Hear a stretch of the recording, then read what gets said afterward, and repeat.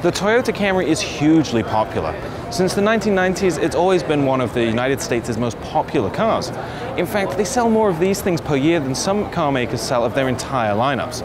So it's not an overstatement to say that the introduction of this, the all-new 2018 Toyota Camry, is a really, really big deal for the company. As you can see, perhaps the biggest change of all is the exterior styling. Toyota calls this keen look, and I don't know exactly what that means. But basically there's very different designs depending on trim levels. This is the hybrid, so it's probably the tamest look overall. If you move up to the SE or XSE trim levels, you get slightly more aggressive design features all around. But in general, it's still recognizable as a Camry, albeit with slightly stronger character creases down the body sides.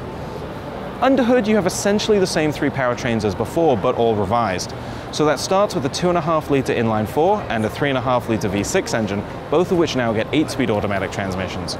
And there's a revised version of the Camry's hybrid powertrain.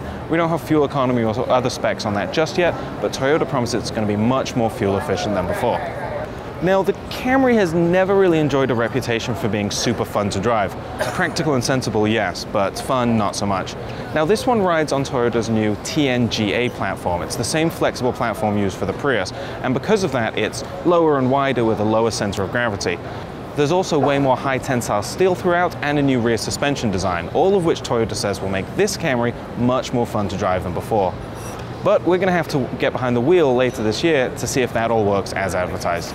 For now, you can find out even more about the 2018 Toyota Camry at motor1.com.